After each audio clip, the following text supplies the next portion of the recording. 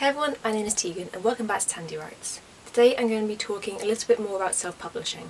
I've talked about my personal experience in the past, but today I thought I'd answer some questions from some of my friends or my fellas and just see what like very specific things you'd like to know. So, let's begin. So the first question, I'll put all the questions up on the screen because this is quite a long one, so I'm going to like break it down into parts. The first thing we'd like to know is the advantages of self-publishing and why I chose that route rather than traditional publishing. So um, I think there's only one or like two advantages of self-publishing. First one is that like anyone can do it. So to get traditional publishing you have to get an agent who then goes on to the like publishing house and then goes on from there. And then you lose a bit of like control over what happens to your work. So self-publishing, like you can do it yourself, you don't need an agent because the only kind of traditional publishing you can do without an agent is vanity publishing and I talked about that in a video called I Rejected a Publishing Contract so if you want to know more about vanity publishing and why you should not do it, watch that video. But the other advantage with self-publishing is that you have full control over everything. So with traditional publishing you would have someone who designs a cover for you and you don't usually get to choose the cover. You have people, I understand that editors are very important for making the best book possible but they may like change your story or get rid of bits you like or put in bits you don't.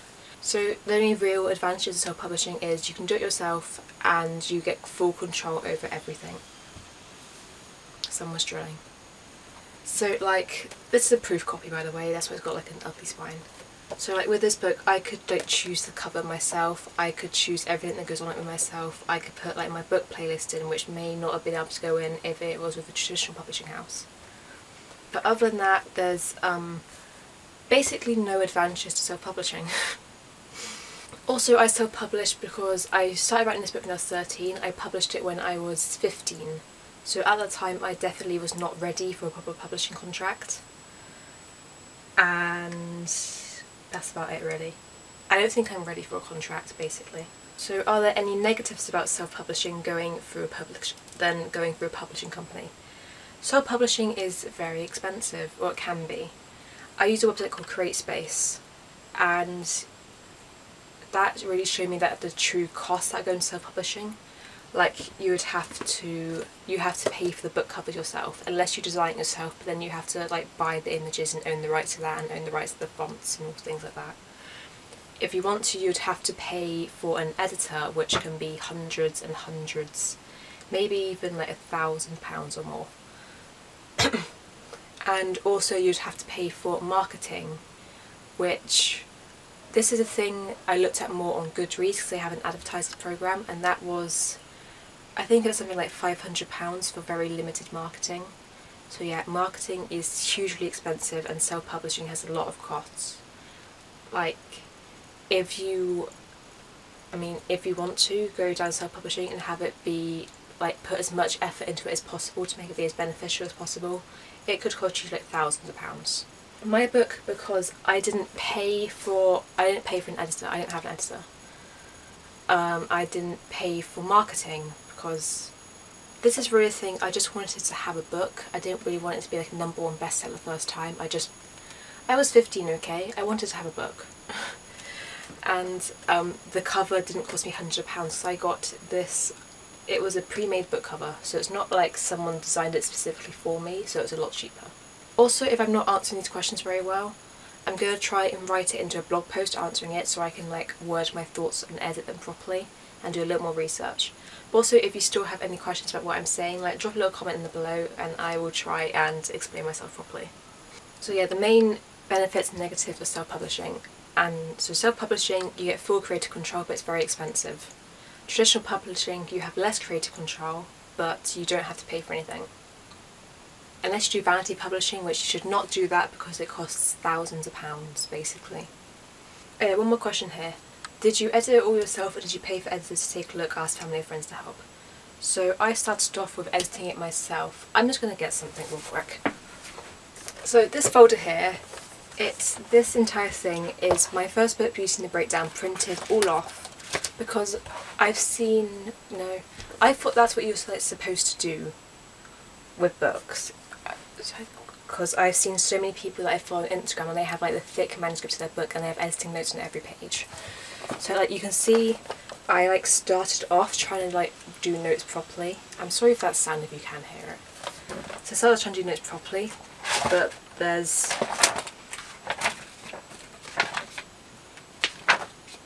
I maybe got about, you know, a few chapters in and I gave up that way because it wasn't working for me. Reading all the work again and doing it like line by line wasn't very beneficial for me. So what I did end up doing, because I started writing this book on the online community Movellas, was that I asked people feedback basically and they all left comments basically pointing out errors or grammar mistakes and plot errors and things that they want to happen, things they don't want to happen. And that was very beneficial for me because it was basically my target audience telling me what they want and what they like and what they don't like, which was, you know, very beneficial. But the way that I ended up finally editing this book is that I put my first draft document on one side of the screen and I had a blank one on the second side of the screen and I basically rewrote the entire book. Not like changing the entire thing or changing a lot of things, it was basically having, you know, the first edit on one side and then just starting afresh on the second. So I can so it's just rewriting it rather than you know like line by line editing didn't work. People reviewing the book they're like my beta better or beta readers? I think beta. So having other people read your work and review it for you is beneficial and the whole side by side thing works a lot and that was how I edited this book. So the next question is someone would like to know a bit more about how to sort out the covers I don't really know what sort out means, so I'm just going to say basically how I got this cover. And let's swap the books around for a bit. Because this one has a spine. So there are a couple of ways you can go, uh, go about getting book covers. You can pay someone to design the entire thing for you, which can be hundreds of pounds. But another way I found is the pre-made book cover, which is people that design book covers. I'm going to put like a video here of how I got this book cover but people design covers and then you just pay them. I think like the average price I've seen for this is like 30 to 40 pounds that they will put like your book title and your name on there instead. So it's not like a fully personalised cover but it's very affordable in comparison to other things I've seen. And you know it's still unique to you because as soon as you buy that cover no one else can use it. So if you've seen this video, this cover was originally called Summer in the Valley so, you know, and I was scrolling through the cover website. So basically to find these websites, I basically went onto Google, I typed in pre-made book cover, and I went on every single website that came up to find like an average price of what I should be paying and just to you know look around because these covers can be very hit or miss. And I found this one. I was scrolling through, was it like a YA or romance? I might have been even like scrolling through the sales section of this website and I saw a brunette boy and a blonde girl and I was like, oh my god, that's my Josh and Clara. And then this was my cover, basically. But then, because these covers are usually used for like ebooks, so you I had to pay extra to get the spine in the back cover, which was, I think that was something like $25. Because the cover was on sale as well, the entire thing maybe cost $40.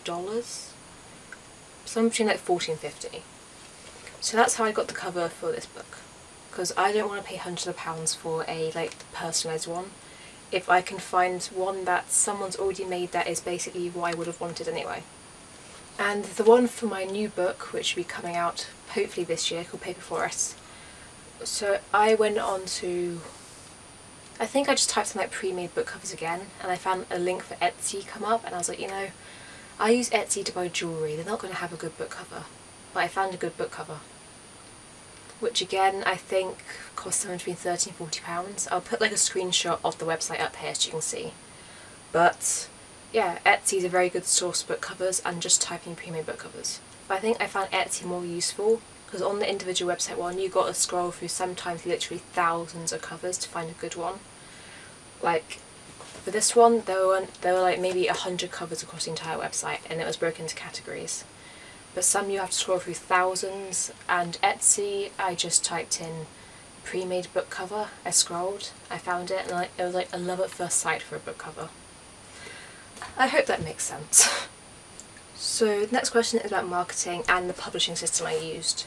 So first off I used CreateSpace which is a company basically made by Amazon.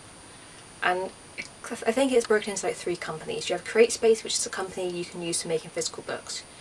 You have KDP, um, Kindle Direct Publishing, which is also part of this company, where you can get your ebooks. And there's one called ACX where you can get your audiobooks done. So they're like three companies that are all owned by Amazon and they're all basically the same thing. And that's the route I went down because I spent a lot of time googling different self-publishing companies and this was I think the only one that did like all three options or was the only one that did like physical books and ebooks I don't really remember because, but because it's owned by Amazon it the books get directly put onto Amazon. And that's a good thing to know. I don't really know much about other companies but this one you could choose the price of the book. You could choose like what percent profit you get off ebooks. And oh yeah you can choose you can you can make offers and deals for the book because you can change the price any point and you can set like you can I spent a lot of time doing like discounted ebooks and discounted books because you can just change that whenever you want. So you have control over like prices and like what kind of book you're putting out. Does that make sense? I chose CreateSpace because it's part of Amazon and it has lots of things that are good basically. About marketing. When you finish like making a book there is a section at the end where you can like pay to get it marketed properly which costs hundreds of pounds so I did not do that. Also on Goodreads, Goodreads is a great website because as well as like finding books there's a giveaway section where I've won, where is it? There's a book down here, is one I won from a Goodreads giveaway because thousands of people enter these. And usually it's only like one copy getting given away. But sometimes it's like authors giving away signed limited edition like hardcover books. So when this book first came out that's a lie. It was like months and months afterwards. But I did a giveaway for this. And like a thousand and something people entered it. And although only one person won I think something like 400 people like added this book to one of their lists, which is a good way of like promoting marketing. Because even if this isn't making sense at all, how do I explain myself? Uh, when this giveaway ended, a couple hundred people had added to this list, and even though a couple hundred people haven't bought it, it's in like the TBR pile, so they might buy it eventually. They might get like a dodgy PDF copy of the ebook somewhere. I don't know but it's a good way to get people to know about your book even if they're not actually reading it or buying it. Another thing I really want to try is there's a website called NetGalley where you can let request advance read copies of books so you can read them before they come out in exchange for an honest review. And that's something like I want to put my own books on there. Sorry. Because I know like hundreds of people download these books and obviously you have to review them to get them.